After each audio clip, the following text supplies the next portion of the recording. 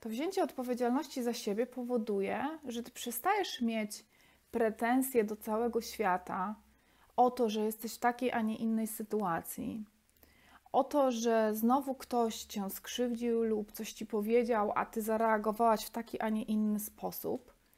Już wielokrotnie mówiliśmy tutaj na tym kanale, że y, jakby na czym polega cały konstrukt zwany wysoką wrażliwością.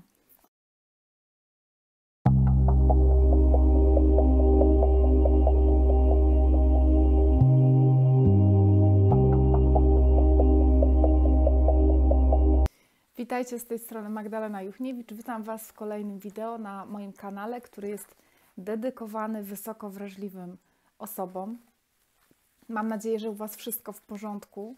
Nagrywam dla Was ten materiał w taki, można powiedzieć, melancholijny czas, yy, w weekend, kiedy przyszedł do mnie temat jako inspiracja ostatnich spotkań z wrażliwcami. I pomyślałam sobie, bo dosyć długo się nad tym zastanawiałam, z jakim tematem wśród listy, którą tutaj mam dla Was przygotowaną na najbliższy czas, wyjść, przyjść, nagrać. E, I doszłam do wniosku, że dla wszystkich e, nas, wysoko wrażliwych osób, bardzo często do momentu, kiedy tego tematu nie dotkniemy, kiedy e, nie pokażemy tego, co nie ukażemy w światu tego, co jest dla nas najważniejsze, ten właśnie temat stanowi no, wyzwanie. Wiecie, że staram się tutaj nie używać słowa problem, ale rzeczywiście jest to wyzwanie. Dzisiaj chciałabym, żebyśmy porozmawiali, żebyśmy się zastanowili, żebyście Wy się zastanowili i podzielili się Waszymi refleksjami i przemyśleniami w komentarzach na temat wyznaczania granic. Co daje wrażliwcowi wyznaczanie granic? Co tak naprawdę dzieje się wtedy w naszym życiu? Co dzięki temu zyskujemy, a co być może tracimy? Ale z pewnością jest to temat do mm, przepracowania, temat do podniesienia, temat taki, z którym, jeżeli nie weźmiemy się, mm, nie spróbujemy w jakiś sposób zaprzyjaźnić, to na wielu płaszczyznach, w wielu obszarach naszego życia potrafi nam to doskwierać. Moi drodzy, Wyznaczanie granic, kiedyś usłyszałam tak metaforycznie, to jest jak przygotowanie takiego albo zaznaczenie takiego ogródka. Wyobraźcie sobie, mm, że macie swoje miejsce mocy, swoje miejsce do życia, i to jest takie miejsce, w którym, jeżeli nie wyznaczacie granic, to po prostu każdy Wam może wejść.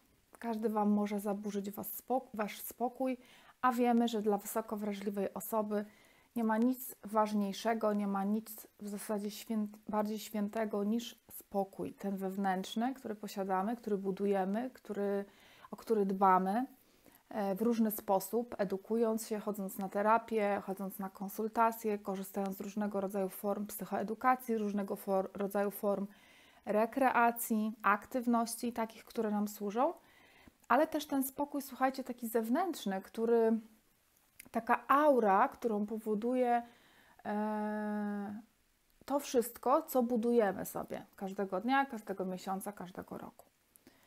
I ja rzeczywiście przychyliłabym się do tej tezy, do, takiej, do tej metaforycznej tezy, że, że, że wyznaczanie granic dla zewnętrznego świata, ale czas, czasami też dla tego, co się dzieje bardzo blisko nas, będziemy dzisiaj o tym mówić. Mam tu na myśli, że to, że łatwiej jest wyznaczyć, paradoksalnie łatwiej jest wyznaczyć granice mm, osobie na zewnątrz, komuś, kto nas bezpośrednio nie dotyczy, komuś, kto być może w żaden sposób nie interweniuje lub nie ingeruje w nasze życie,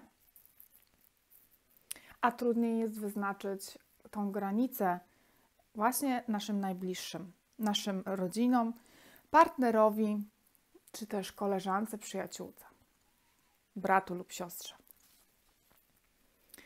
Z opinii Waszych, z os opinii osób, z którymi ja mam przyjemność y, pracować, czy też się widzieć, sama z własnego doświadczenia wiem, że działa to czasami trochę inaczej, że czasami w taki brutalny sposób, kiedy jesteśmy na granicy wytrzymałości w tym naszym wrażliwcowym świecie, kiedy jesteśmy bardzo przebodźcowani, kiedy.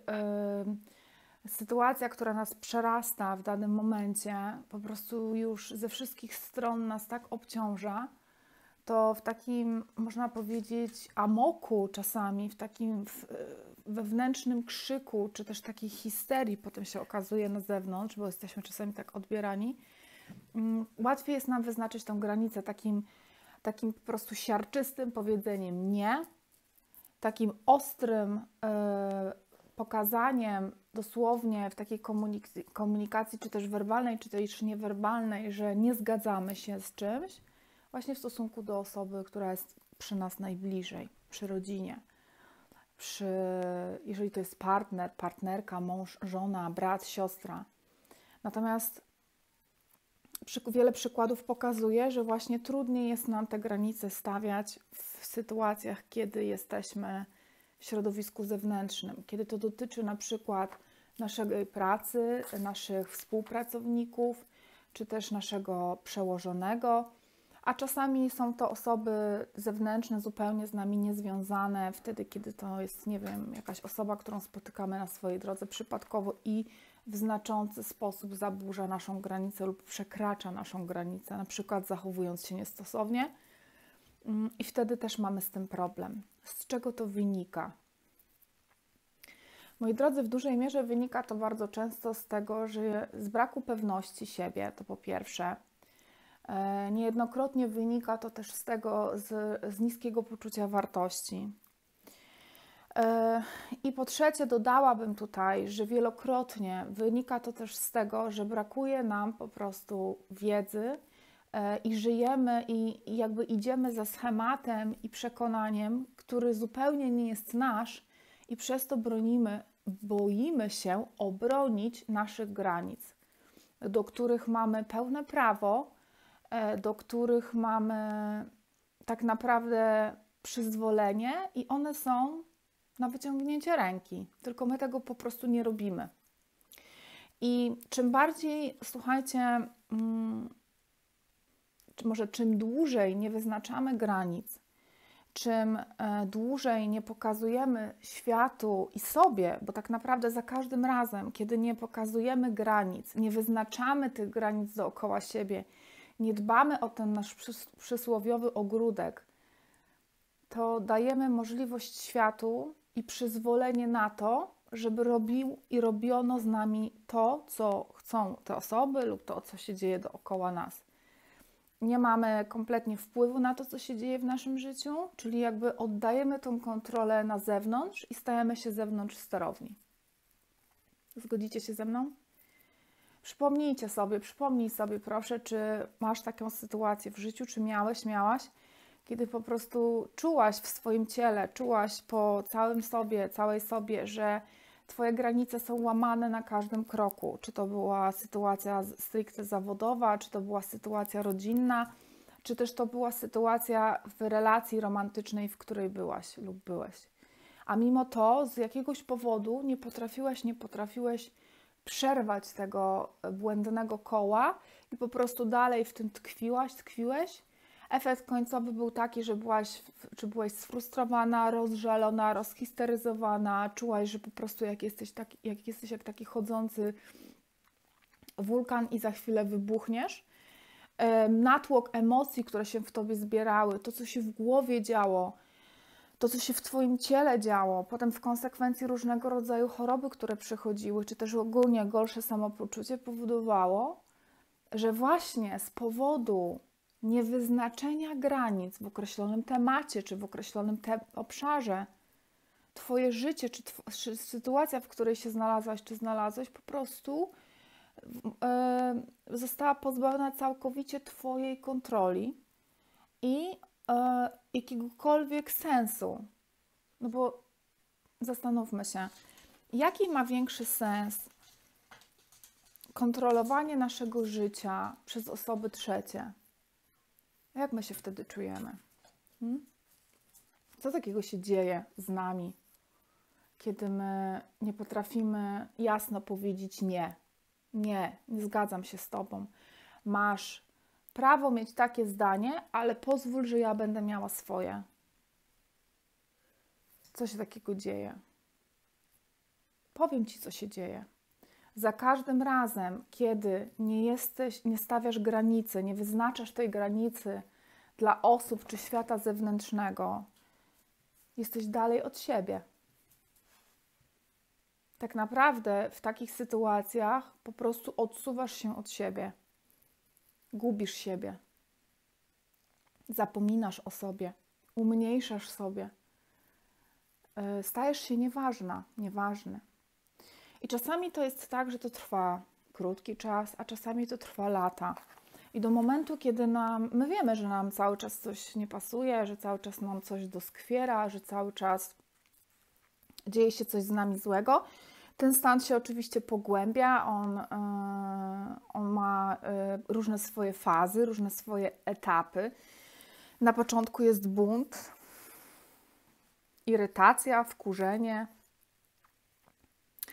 Jest taki stan, w którym po prostu jesteśmy źli, źle, złe na siebie, E, tak naprawdę e, i dajemy fory e, temu wszystkiemu, co się dzieje na zewnątrz, ponieważ nie chcemy siebie słuchać.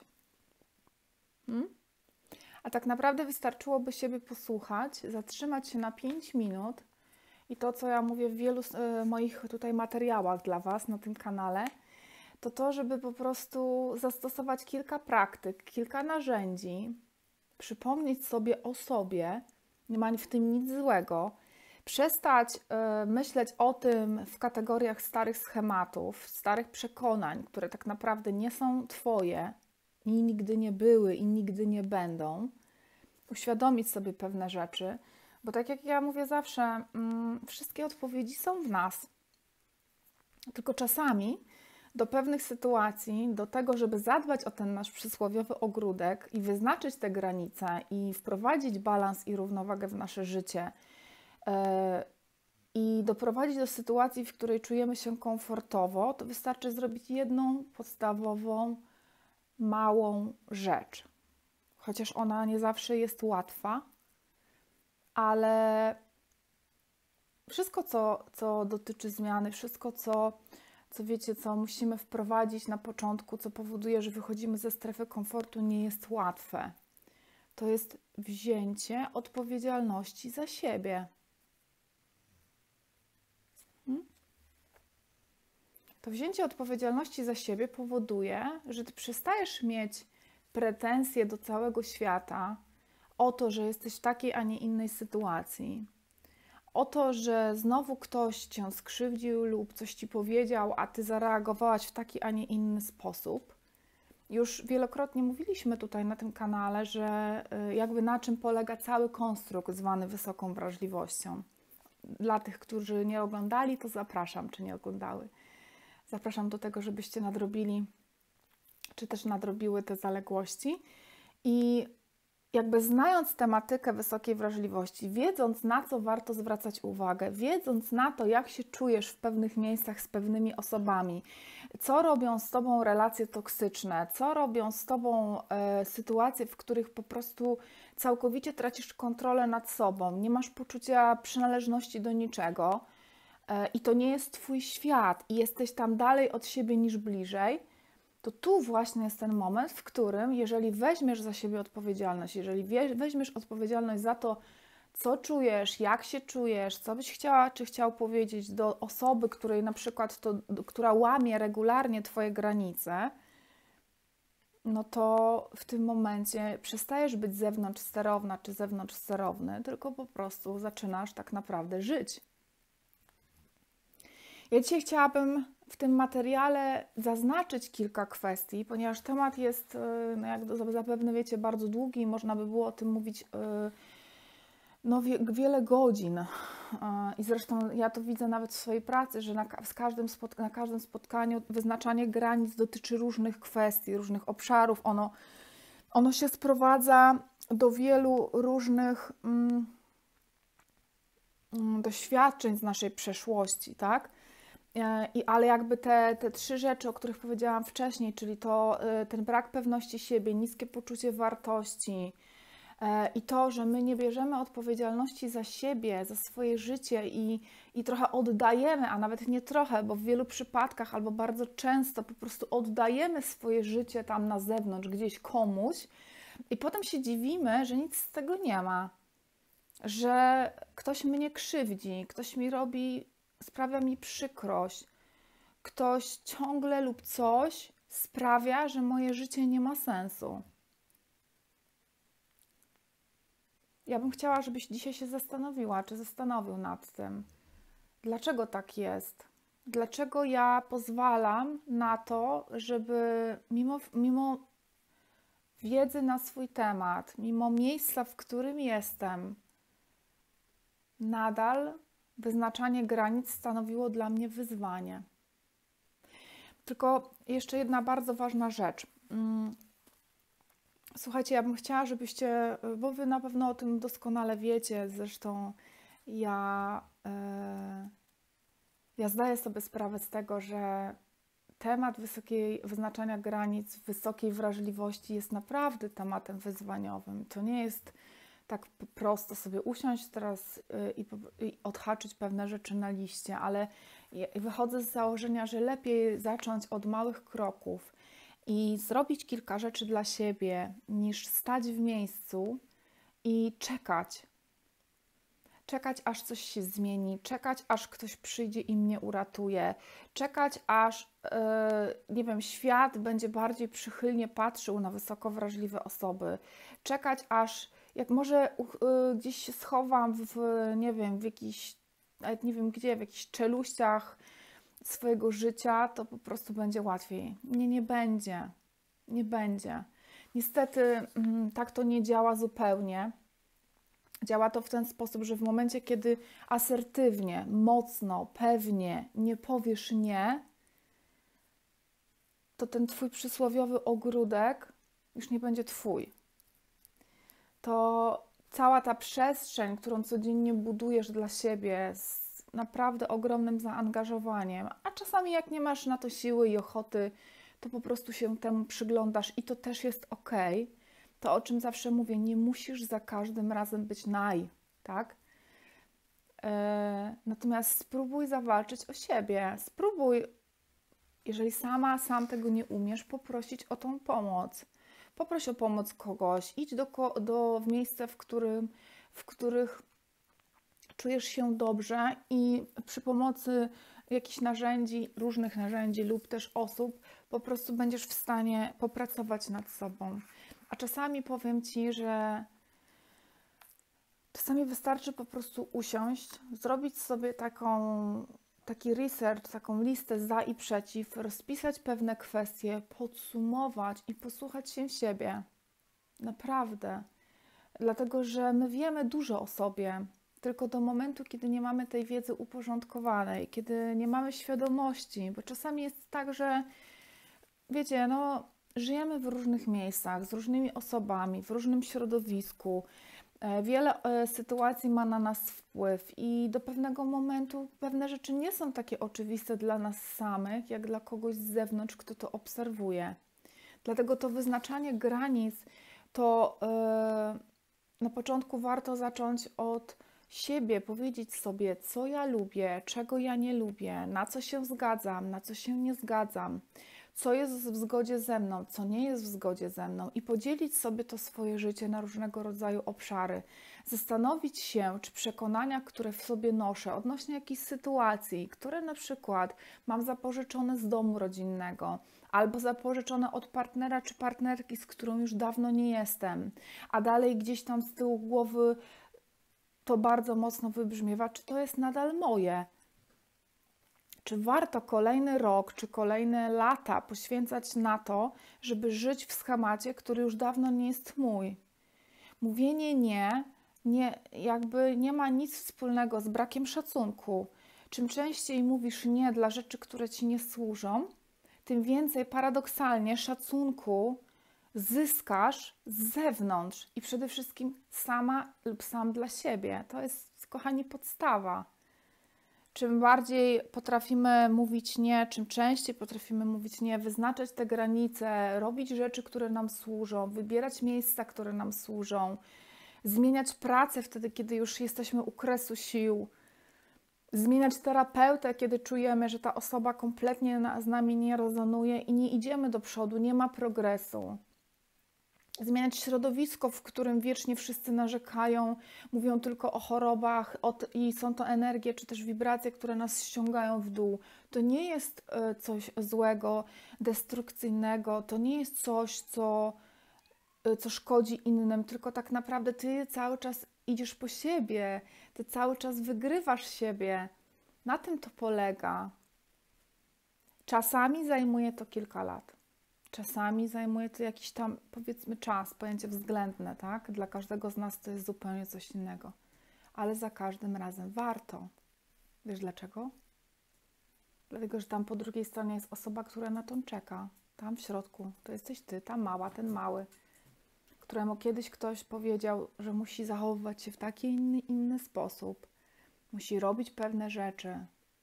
Ktoś ciebie kiedyś nie słuchał, być może nie zauważał. I wzięcie odpowiedzialności za siebie w całym tym procesie to jest właśnie to. To jest to wyznaczanie granicy, powiedzenia stop, koniec. Teraz zaczynam na nowo. Ma pomału, ale zaczynam. Kochani, teraz na koniec chciałabym, żebym czegoś tutaj nie zapom za, yy, zapomniała, więc zrobiłam kilka notatek. Przede wszystkim może podzieliłabym te granice na takie na takich kilka punktów. Pierwsze to wyznaczanie granicy yy, to jest takie dosadne powiedzenie nie. Dosadne powiedzenie nie. No ty od razu wiesz, tak? Jak wchodzisz w miejsce, które ci nie służy, idziesz do osoby, która ci nie służy, nie wiem, chcesz coś załatwić i ci to po prostu nie wychodzi, ty to wiesz, ty to czujesz ale często zamiast iść z poziomu serca i po prostu iść za, tym, za tą swoją intuicją, bardzo często zaczynasz włączać ci się ten umysł i po prostu zaczynasz analizować. Słuchaj siebie częściej. I jeżeli masz takie poczucie, że to swoje nie jest zasadne, jest twoje i ty się na to nie zgadzasz, to bądź przy tym, stój przy sobie, nie bój się tego, nie wstydź się siebie, nie wstydź się tego, co czujesz bo będziesz bardziej wygrana czy wygrany, jak powiesz to jedno nie, niż jak będziesz wiecznie mówić tak i zapominać o sobie.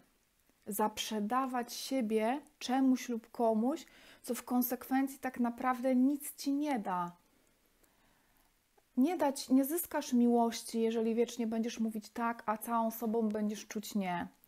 Nie zyskasz szacunku otoczenia czy przełożonego, jeżeli będziesz cały czas robić wbrew sobie i żyć wbrew sobie, pracować wbrew sobie, a mówić tak, a całe Twoje ciało i, i wszystko, co tylko może, będzie krzyczało i będziesz wiecznie w takiej e, frustracji i rozżaleniu i otoczenie będzie Cię odbierać jako tą czasami nawet wiecie co, jest to strasznie przykre, ale słyszę od moich wrażliwców, że, że ludzie mówią, że są zaburzeni albo jacyś nienormalni, a to jest nieprawda. Tak długo, jak jesteś przeciwko sobie i nie jesteś ze sobą i nie powiesz tego dosadnego nie, tak długo będziesz tak postrzegany, postrzegana. Niestety tak to działa. Czyli z szacunkiem do siebie, z pokorą do świata i z taką otwartością na nowe ze strachem, bo czasami jest strach, prawda? Przyznasz mi rację, że boimy się tego. No i co, tyle czasu mówiłam tak, a teraz powiem nie? Tak, bo być może to już jest ta Twoja ściana. I być może to jest ten moment, w którym masz prawo to powiedzieć. Nawet jak masz, nieważne w jakim miejscu życia jesteś, nieważne ile masz lat, nigdy nie wstydź się siebie. Tak długo, jak będziesz się wstydzić siebie, tak długo inni będą podejmować decyzje za ciebie a ty, nie, a ty do tego momentu nie weźmiesz tej odpowiedzialności. Po prostu. Kolejna rzecz, kiedy mówisz do osób, z którymi jesteś, lub w ogóle w sytuacji, w której jesteś, lub w miejscu, w którym jesteś, i wyrażasz jasną komunikację. Czyli mówisz o tym, że nie akceptujesz czego, czegoś, że nie wiesz, nie zgadzasz się z tym, i nie musisz się z tym zgadzać i masz w sobie to przyzwolenie. To jest też bardzo istotne. Czyli dawanie sobie takiej przestrzeni do tego, żeby co, czegoś nie akceptować. Nie musimy wszystkiego akceptować, nie musimy się na wszystko zgadzać. Możemy swobodnie wchodzić mm, w dialog. Słuchajcie, yy, naprawdę to nie jest tak, że wszyscy dookoła wiedzą, co my myślimy i co my mamy w głowie, i to, że po nas widać od razu, po tym, jak my się czujemy i, i po tych naszych emocjach um, łatwo sczytać. Czasami nawet słyszę, że jesteśmy jak takie otwarte księgi. Okej, okay, ja się z tym zgadzam, natomiast jednak była, jestem zwolenniczką tego, żeby jednak mówić, e, szczególnie dla tych osób, które są dla nas bardzo ważne, żeby się dzielić tym, co myślimy, co czujemy, jasno komunikować. Przepraszam, jasno komunikować dlatego że to prowadzi do tego, że po tej drugiej stronie nie ma dyskomfortu. My sami się lepiej z tym czujemy, czy same, i przede wszystkim łatwiej nam, łatwiej jest nas zrozumieć, i ta druga strona też ma poczucie, że my chcemy rozmawiać, wiecie? Że my chcemy po prostu dialogu, a nie tylko popadanie w stany, których nikt nie zrozumie. Kolejna rzecz to jest wtedy, kiedy rzeczywiście nie mówimy nie wiem. Dawanie sobie do takiego przyzwolenia na to nie wiem. To się kłania ten perfekcjonizm też, nie? Taki brak e, przyzwolenia na to, żeby mówić nie wiem. Masz prawo powiedzieć nie wiem. Wrócę do tematu. Pozwól, że się zastanowię. Hmm? Spróbuj. I ostatnia rzecz to jest, to jest taka, słuchajcie, taka forma wyznaczania granicy, kiedy my robimy wszystko albo większość rzeczy w naszym życiu w zgodzie ze sobą, bo czasami wiadomo, y, nie mamy takiej możliwości, możemy coś przesunąć w czasie, ale to jest taka, taka to jest w ogóle taka zmiana myślenia, zmiana całkowicie, zapisywanie na nowo tych naszych ścieżek neuronowych, zmiana nawyków. Powoduje, że my się stajemy bardziej pewni siebie, tacy osadzeni w sobie, no, y, jest to proces, to z pewnością potwierdzam, że jest to proces. Natomiast proces jest ten o tyle warty i ważny tej całej pracy, że jesteśmy wtedy bliżej siebie. A to jest bezcenne. Tego życzę Tobie każdego dnia. Bo y, nie ma nic piękniejszego w życiu niż być blisko siebie. I uwierz mi, że cały świat wtedy Tobie, wszechświat będzie Tobie sprzyjał. Wtedy bardzo y, szybko modyfikuje się wiele spraw. Twoje środowisko, Twoja rodzina, wiele osób na Ciebie inaczej patrzy, Ty sam, sama na siebie inaczej patrzysz. Inaczej odbierasz ten świat. Więc te wyznaczanie granic to, to tak naprawdę z jednej, strony, z jednej strony powiedzenie takiego konkretnego nie dbanie o ten swój przysłowiowy ogródek, o którym mówimy, mówienie ja, w jasny sposób tego, co czujemy, co myślimy, a czasami to nawet wycofanie się i po prostu tylko patrzenie na pewne rzeczy z roli obserwatora. Czyli na przykład mam tu na myśli sytuacje, które nam nie służą, osoby, które bardzo negatywnie wpływają na nasze życie. Podziękujmy im. Mówimy nie, i idziemy do siebie. I tym oto właśnie ostatnim mnie, silnym mnie z poziomu serca zachęcam Ciebie do tego, żebyś dzisiaj po tym materiale zastanowiła się, zastanowił nad tym, jak to u Ciebie wygląda, podzielił się w komentarzu, czy też podzieliła swoimi przemyśleniami Zapraszam wszystkie e, nowe osoby do subskrybowania tego kanału i z całego serca dziękuję Wam, kochani, za to, że jesteście tutaj ze mną, jesteście tutaj z nami i przede wszystkim zgłębiacie temat wrażliwości i każdego dnia idziecie po siebie. A jeżeli macie potrzebę rozwinięcia tego tematu, zgłębienia tego tematu i potrzebujecie wsparcia, to pamiętajcie, że jest. Pozdrawiam Was ciepło. Do zobaczenia.